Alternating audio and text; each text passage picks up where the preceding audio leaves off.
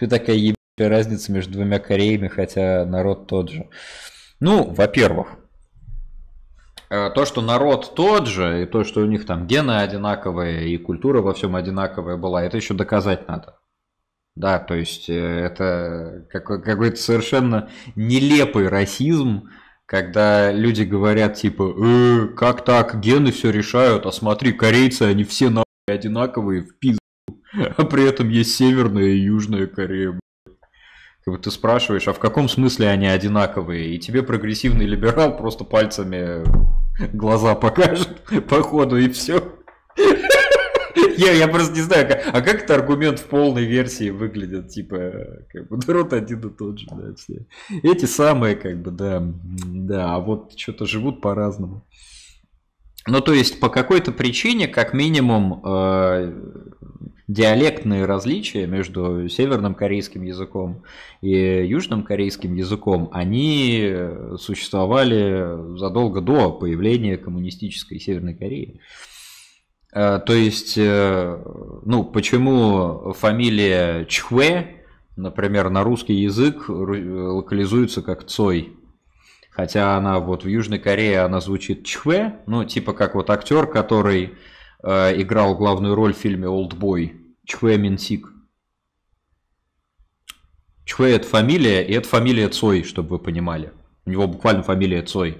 Просто она в Северной Корее звучит, как она похожа на Цой в северокорейском произношении, а в южнокорейском она звучит как Чхуэ. Эм, ну и, слушайте, я не говорю по-корейски абсолютно, но на слух Чхуэ и Цой не очень друг на друга похожи. Да? А, то есть диалектные различия там есть, они заметны. И если спросить у какого-нибудь специалиста, если обратиться к специализированной литературе, эти различия между северокорейским и южным корейским, они вообще как бы они были до коммунизма? Да, были. Да, были. И различия в устройствах общества? Да, были. Да, были. Не такие же, как сейчас, но были. Это примерно так же, как эм, Республика Ирландия и Северная Ирландия в составе Соединенного Королевства. То есть, казалось бы, пришли коварные англосаксы и разделили единый неделимый ирландский народ, но это не так. Потому что, ну, как минимум, на примере формирования северных диалектов ирландского гейлика, когда там еще был ирландский гейлик в Северной Ирландии, мы видим, что вот популяция, которая ушла на север, там, как эта местность-то называется в севере? Ульстер, что ли, или я путаю, я не знаком с географией Ирландии абсолютно, но тем не менее. А, та популяция, которая туда ушла, она какое-то время была обособлена от всех остальных ирландцев. Они тогда не были все англоязычными, они все были кельтоязычные, так или иначе. Но она взяла, сама обособилась просто. Как так-то?